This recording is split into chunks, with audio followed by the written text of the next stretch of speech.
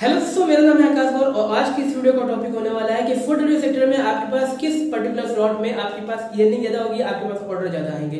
तो यहाँ पे जितने भी डिलीवरी पार्टनर जब वो फ़ील्ड पे आते हैं तो वो सोचते हैं मॉर्निंग वाले शिफ्ट में ऑर्डर अर्निंग ज़्यादा होगी, उनके पास ऑर्डर ज़्यादा आएँगे। बट उनका ये मानना गलत है बिकॉज़ मॉर्निंग टाइम में पहले तो अच्छे खासे यहाँ पे पास ऑर्डर आते थे बट इस समय हर सेक्टर में ज़्यादा यहाँ पे राइडर जिसके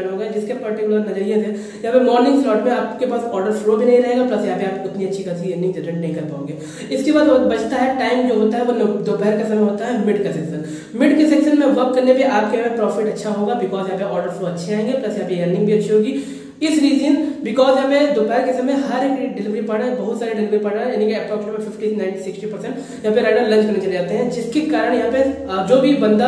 दोपहर में ऑनलाइन रहेगा वर्क करेगा, उसकी अर्निंग ज़्यादा होगी। इसके बाद जो बचता है टाइम वो होता है नाइट वाले सेक्शन इवनिंग वाला टाइम इवनिंग स्लॉट को कभी मिस ना करना बिकॉज़ इस पर्टिकुलर स्लॉट में आपकी अर्निंग ज़्यादा होगी because food sector Zomato and Swiggy both platform में नाइट के शिफ्ट में ऑर्डर फ्लो बढ़ता है बिकॉज़ हर एक कस्टमर नाइट में ऑर्डर करने की सोचता है। तो इस रिगार्डिंग जोमेटो स्विगी में नाइट शिफ्ट में आपके पास अर्निंग ज़्यादा होगी ऑर्डर फ्लो ज़्यादा आएगा। ओके तो यहाँ पे आपकी ये सब क्लैरिटी हो गई होगी। मिड के सेक्शन और नाइट के समय आपकी अर्निंग ज़्यादा होगी।